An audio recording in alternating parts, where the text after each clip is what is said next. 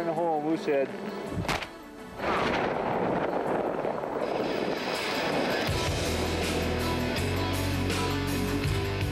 For the past five years, the best skiers in the country have converged on Crested Butte, Colorado to tackle the steep and the deep, and sometimes soar like eagles, to push the envelope on skis like few skiers have ever before. Four days of competition, men and women, the U.S. Extreme Skiing Championships. Hi, everybody, and welcome to Crested Butte, Colorado for the U.S. Extreme Skiing Championships. I'm Rod Elisha, and along with me, Sandy Santucci, the founder of this event five years ago. And Sandy, extreme skiing has come a long way in a very short while. Yeah, it definitely has, Rod back when we started this event in 92, there was only one other event, the World Extreme Skiing Championships in Valdez, Alaska. Since then, it's truly become an international competitive venue. We've got a race going on later on this month in Chamonix, France, New Zealand, South America. It's really come a long way. And it's not just a sport of jumps, bumps, and thrills and high-speed aggressive turns. It's a combination of all those aspects of skiing makes it truly exciting. A cumulative scoring system over the three days of competition, a chance for the competitors to get a feel for the snow, still rushing all out down the mountain. And the day's venue, Headwall, at 11,800 foot with 40 degree slopes, stone for cliff bands at the top, leading into a wide open bowl in the middle, and big old bumps at the bottom, Rod. Also a good opportunity for the skiers to get some good, solid, aggressive air. For the judges, a chance to whittle the field, making decisions on who makes the cut and who goes home early. Remember, each day the field is cut in half. One of the most important things for the competitors to remember day in and day out, Rod, is consistency. Finding the fine line between playing it safe and hanging it all out. That's right, Sandy. A minor mistake you can get by with, but a major lapse of concentration and you're effectively out of the competition.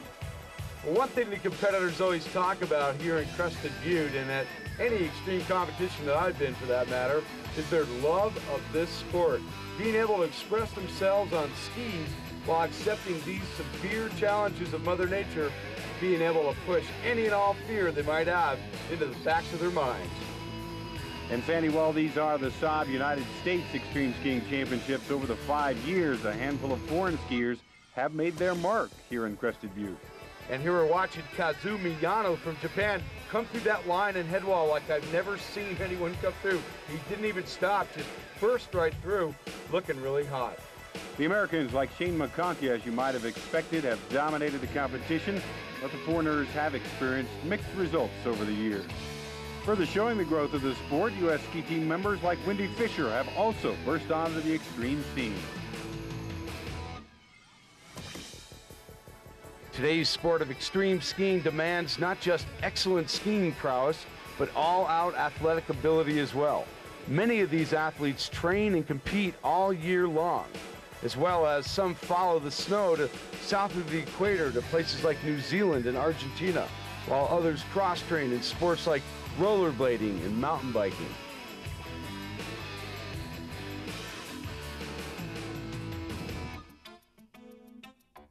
52 skiers advanced to day number two. The men's standings after day one, Peter Bowers on top. Kazutaka Miyano still hanging in at number six.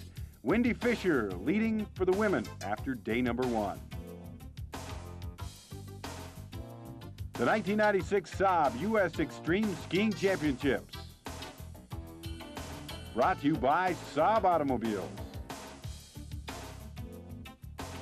And by Nikon Sunglasses. Sport Radios by Motorola and EdgeTech, the official clothing of extreme skiing. And by Crested Butte Mountain Resort, Crested Butte, Colorado. Welcome back to the Saab U.S. Extreme Skiing Championships at Crested Butte. Competition for day number two moves to two separate venues, Sakatumi Ridge and Staircase. Both run shorter and steeper than Headwall Neither quite as bumpy, plenty of lines to choose from, especially for big-time air launchers like Seth Morrison. And this is a run where a guy like Seth Morrison can really let it hang out. He really lets it rip after he gets the big air. Not to mention Wendy Fisher continuing here in her brilliance in her first ever extreme competition. She's currently in first place for the women. The runs also give the judges a good chance to analyze the free-flowing styles of a guy like Justin Patnode. Tyler Williams from Aspen, Colorado.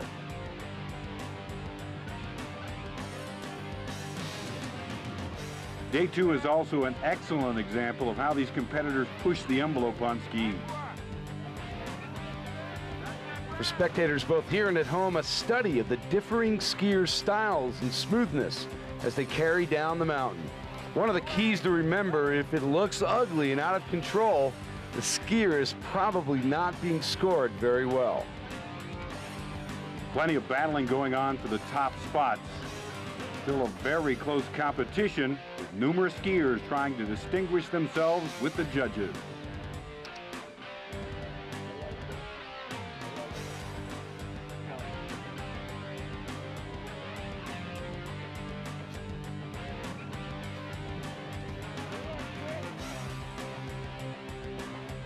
Nineteen ninety-five U.S. champion Shane McConkey still trying to garner the top spot, currently in third.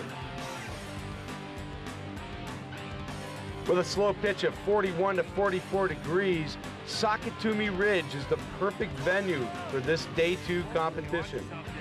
The skiers literally drop five to 10 feet each time they make a turn. It's almost like free falling.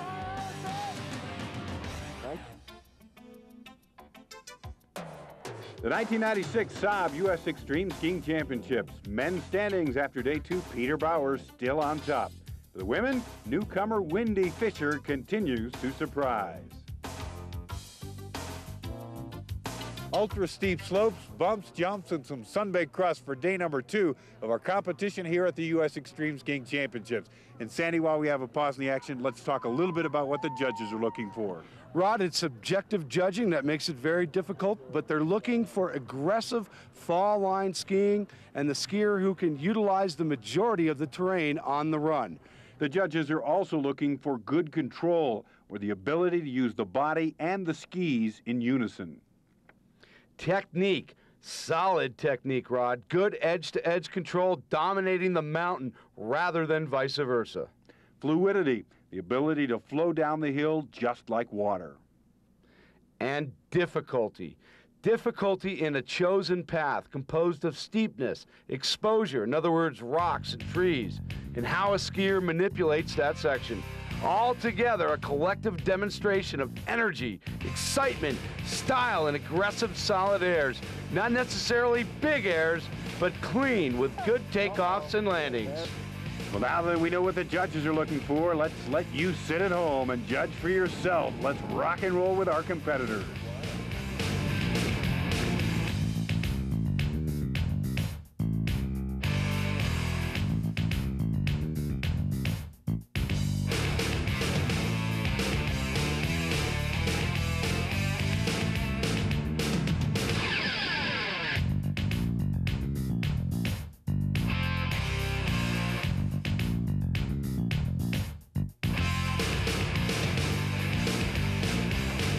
Oh, yeah. Oh, yeah.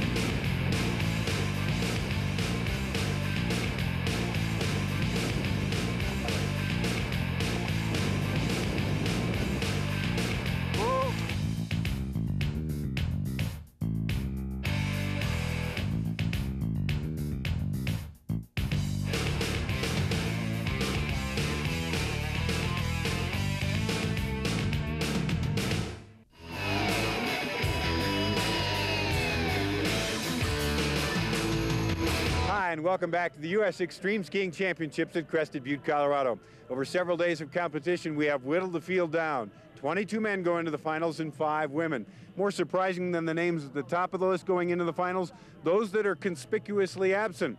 People like Dave Swanwick, the 94 U.S. and world winner, and Kim Reichhelm, a Triple Crown winner. That's right. Dave Swanwick, who is a resident of Crested Butte, is in Europe right now filming for Warren Miller couldn't get back in time, so he opted to stay and finish out the film with Warren.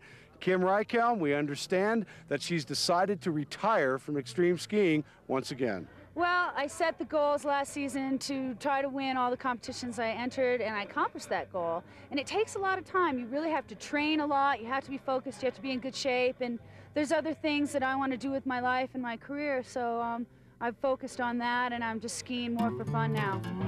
Kim Reichhelm, the skiing ambassador here at Crested Butte, a spectator this year, along with hundreds of others for the Saab U.S. Extreme Skiing Championships.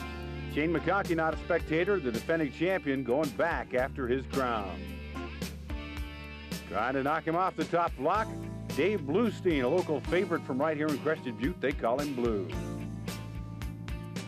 As well as Seth Morrison, another local favorite, loves to get big air and go all out. Pete Bauer is looking for his first championship. He's the current leader. He's been third here before. Jill Sickles Matlock, the 94 U.S. Extremes champion, really going after it this time. Great guns. Against this gal, Allison Gannett. 1995 South American champion. She's gunning for her first ever U.S. title as well. But in front of her, Wendy Fisher, the current leader and a newcomer to the sport of extreme skiing. And it all culminates here with the finals for Crested Butte's U.S. Extreme Skiing Championships. Phoenix Spellbound is our site. And Sandy, these are the prime lines. Well, we'll be starting at the top of the Spellbound Bowl, heading out skiers left into the Spellbound Glades and High Life. All of the skiers will probably end up in the dead end chutes. It's a dramatic way to end the competition. The snow conditions are great right now at the top up there as we watch Justin Patnode blast out in his usual flamboyant style. Thing gets me about Justin is he has lots of energy and excitement on skis, always moving, always grooving to the hill.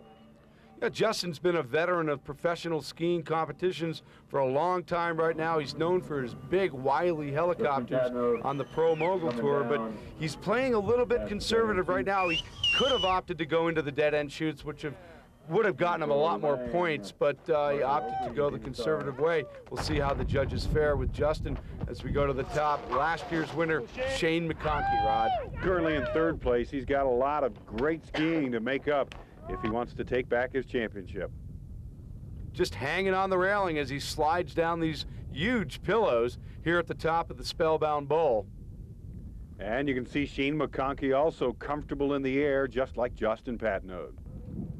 Now let's watch him rip into the top section of the dead end chutes. Very steep here as the camera angle shows you. This is what the competitors are up against when they're in this cliff band as he blasts onto this pillow above the crowd in the dead end chutes. Not only in front of the crowd right here, but you're very, very tired. Two runs, over four minutes on each of them. McConkey loses his footing, tumbles through the finish line. That is not going to reclaim his championship. Next up, from right here in Crested Butte, Colorado, Dave Bluestein knows his terrain well. The fans know him well. They call him Blue. Yeah, Dave has been competing on this mountain since 1992, the inaugural U.S. Extreme Skiing Championships. He has a lot of local knowledge, and he knows what the judges are looking for, and he's taken some very aggressive lines. I've been impressed with Dave all through the week. He's been really skiing well. We talked earlier, Sandy, about the key being line choice, and Blue's got a good one here. Nice launch at the end. And through the finish line before star fishing, but Dave Bluestein is going to score well. He was through the finish line. And we'll be right back for more of the Saab U.S. Extreme Skiing Championships here at Crested Butte. Don't go away. 94 U.S. Extreme Skiing champion Jill Sickles Matlock warming up at the start. Our current standings, Wendy Fisher, Allison Gannett, and Matlock all bunched up at the top, each with a chance to win. First in the start gate, Allison Gannett from right here in Crested Butte, Colorado. The winner in September of the South American Extreme Championship, her first ever victory. She was second here last year when she took a conservative line on her final run and was passed by Kim Reichhelm, the eventual champion. Rod, I guarantee you she's not going to let that happen again this year. She's aggressive. She's skiing the fall line, very intense. She's out for victory today. Well, she's had an uphill battle all week. She has had a bout of the flu, lost a friend in France in an avalanche. But a nice aggressive line, and uh, despite a tumble through the finish line, a very nice run for Allison Gannett. Back up top now, Jill Sickles Matlock, the 1994 winner here in Crested Butte. Again, a local, knows the course well and knows how to win trying to dial in right now on her second U.S. Extreme Championship. Rod, when I watch Jill ski, I see confidence.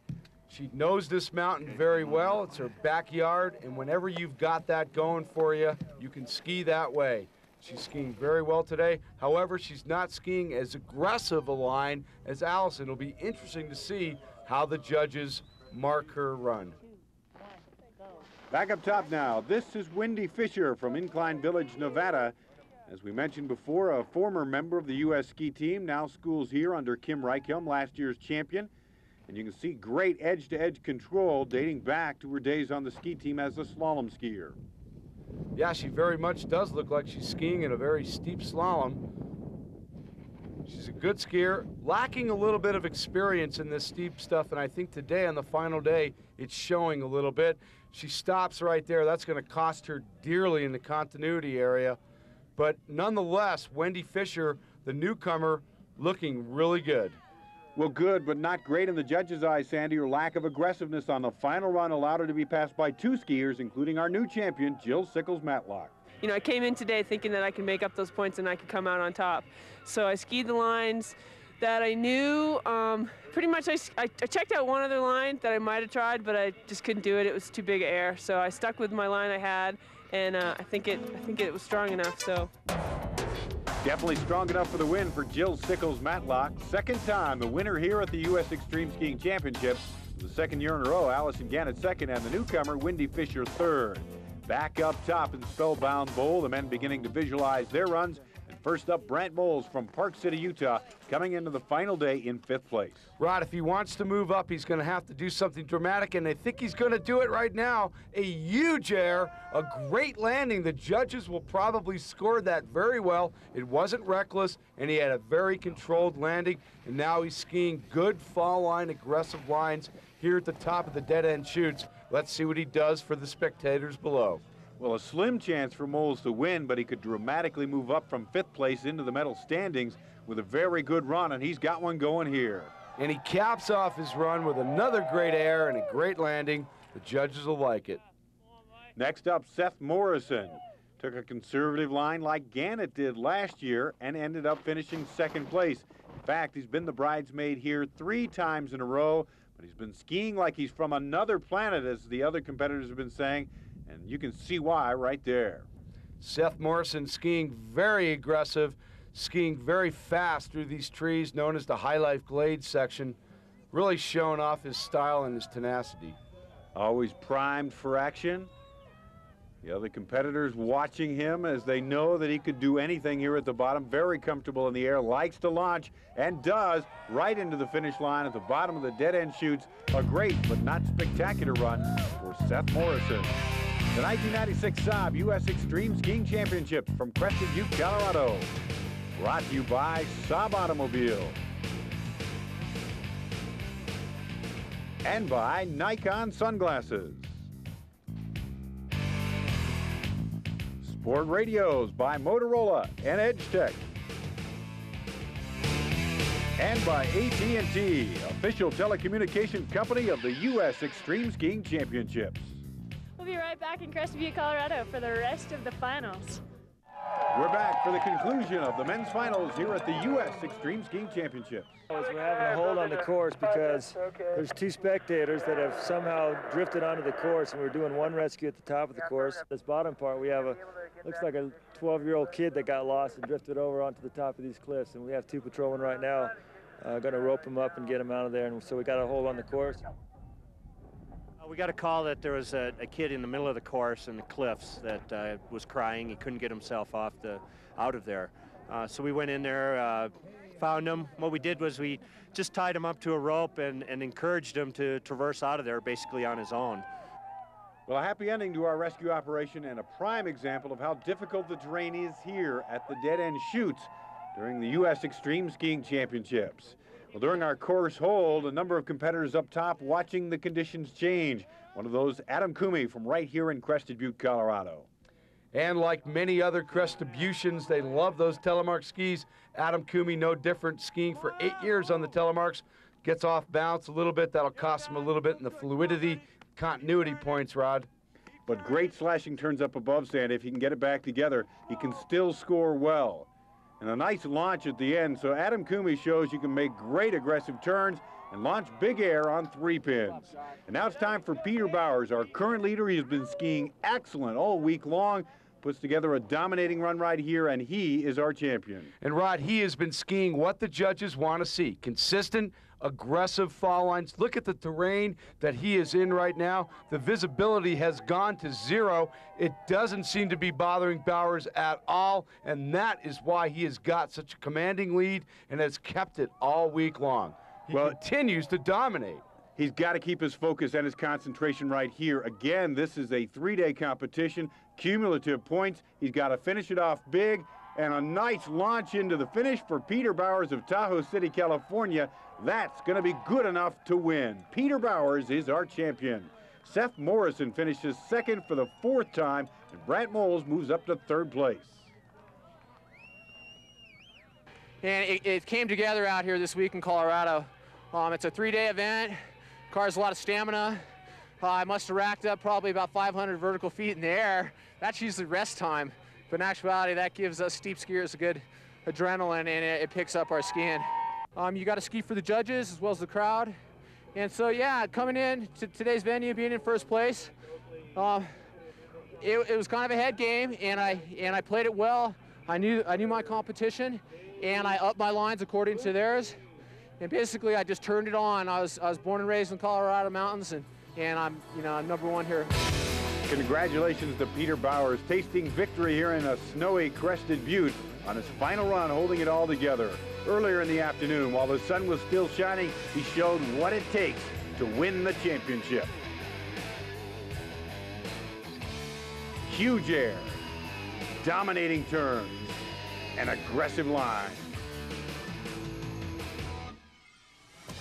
Bit of everything weather-wise for the U.S. Extremes here in Crested Butte. As you can see, snow, and of course we had sunshine as well. But the one thing we definitely had was fantastic skiing for the fifth year in a row. Right, It was this element change here, it's got to play havoc in the minds of the competitors. They rose above it, they skied incredible, and uh, we pulled off another great event. It's only going to get bigger, only going to get better, and I can't wait till next year. Well, another huge competition. Our winners move on to the World Extreme Skiing Championships in Valdez, Alaska. As for us, that'll do it. We hope you enjoyed the show. For Sandy Santucci, I'm Ron Elisha. For all of our crew, thanks for joining us, and we'll see you next year at the U.S. Extreme Skiing Championships here in Crested Butte.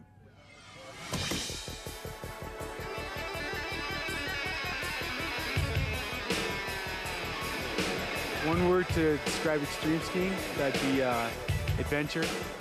Uh, yeah, thank you. This has been another wild ride, courtesy of JSP International Video Production.